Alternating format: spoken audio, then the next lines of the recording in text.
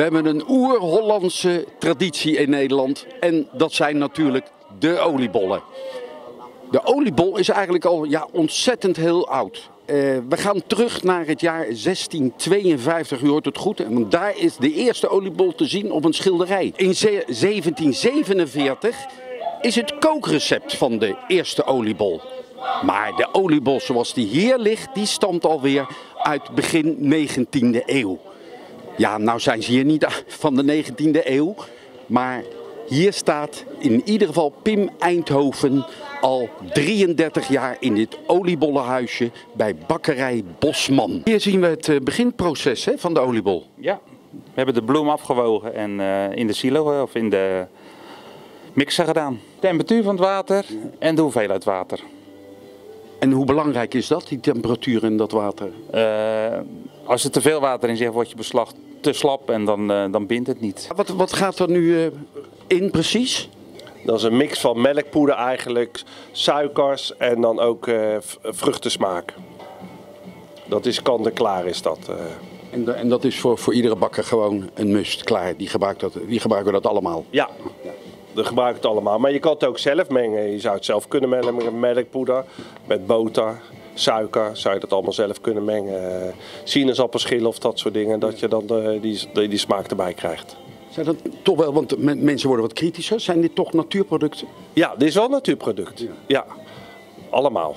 Is er nou veel veranderd in de loop der jaren? Want die oliebol is natuurlijk al vanuit begin 19e eeuw, heb ik gelezen. Ja. Is, is er nou heel veel veranderd? Nee, bij ons niet.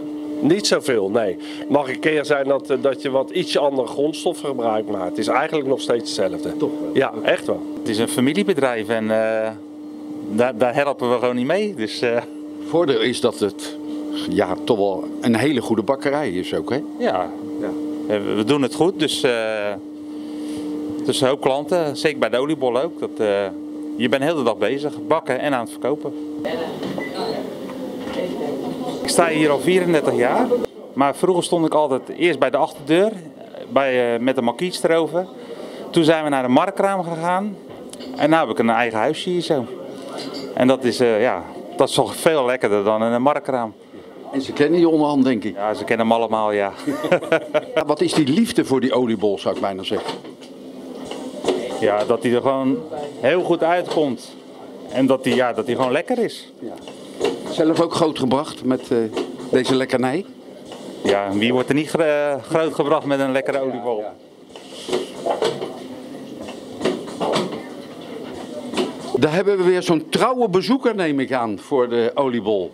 Ik moet zeggen, eerste keer. Hier. Eerste keer? Ik ga ze hier proberen. Nou, dan ben ik benieuwd. Dan wil ik even uw reactie ook zien. Oh, ik ga hem niet live opeten, dan krijg ik. U gaat hem niet live op? Je mag er één proeven. Je mag er één proeven. Nou, oké, okay, goed. Ja, nee. Nou, dan gaan we dat proberen. Dank u wel. En u bent ook fan wel van de oliebol, neem ik aan. Absoluut, zeker. Mooi in het seizoen, toch? Ja. ja. Nou, we doen onze eigen in Rijswijk oliebollentest. Okay. Dus ik ben benieuwd. gaat uw gang. Kijk, dat is een mooi gezicht. Ik ben altijd benieuwd hoeveel op Oudejaarsavond, hoeveel oliebollen er doorheen gaan in dit land. Heerlijk. Ja? Heerlijk, ja. ja. En echt gemeend ook, hè? En echt gemeend, ja. Mijn vader was in deze periode ziek geworden van de Hongkongriep.